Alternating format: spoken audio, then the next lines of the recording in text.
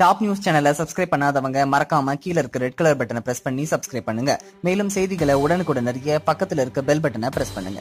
சென்னையில் சேப்பாக்கம் மைதானத்தில் இன்று ஐபிஎல் போட்டிகள் நடக்க உள்ளது. சென்னை அணிக்கும் கொல்கத்தா அணிக்கும் இடையிலான இந்த போட்டிக்கு பல்வேறு தரப்பினர்களும் எதிர்ப்பு தெரிவித்து வருகின்றனர்.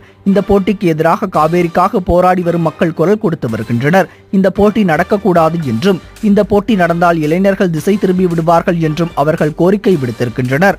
சென்னை அணி சரியாக இரண்டு வருடங்களுக்கு பின்பு சேப்பாக்கம் மைதானத்தில் தற்போது ஐபிஎல் போட்டியில் விளையாட இருக்கிறது. முதல் ஐபிஎல் போட்டி மும்பையில் நடைபெற்றிருந்தாலும் சென்னையில் நடக்கும் முதல் போட்டி இதுதான் என்பதால் அதிக எதிர்பார்ப்பு நிலவி வருகிறது. இதன் காரணமாகவே இந்த போட்டிக்கு எதிர்ப்பு கிளம்பி உள்ளது இந்த நிலையில் நேற்று சென்னை மைதானத்தில் பயிற்சி மேற்கொள்வதற்காக கொல்கத்தா அணி சென்னை வந்தது. அவர்களுக்கு மிகவும் அதிக அளவில் பாதுகாப்பு அளிக்கப்பட்டது. அப்போது அங்கு வந்த தினேஷ் கார்த்திக்கிடம் காவேரி போராட்டத்திற்கு ஆதரவு தெரிவித்து கருப்பு பேட்ச் அணிந்து விளையாடுவீர்களா? என்ற கேள்வி எழுப்பப்பட்டது. ஆனால் அதற்கு தினேஷ் கார்த்திக் பதிலளிக்க மறுத்துவிட்டார்.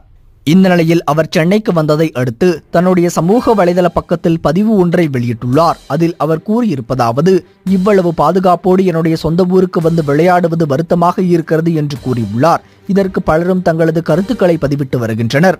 ஆனால் இவ்வளவு பிரச்சனையிலும் அஸ்வின் காமெடியாக தினேஷ் கார்த்திக்கின் போஸ்டுக்கு பதிவு ஒன்றை வெளியிட்டுள்ளார். அதில் நீ நடந்தால் நடை அழகு அழகு என்று காமெடி செய்துள்ளார். இதற்கு தினேஷ் கார்த்திக் பயந்து கொண்டே ஏண்டா அஷி உனக்கு நான் தான் கிடைச்சனா என்று பதிலளித்துள்ளார். இந்த தகவல் உங்களுக்கு பிடிச்சிருந்தா லைக் பண்ணுங்க கமெண்ட் பண்ணுங்க.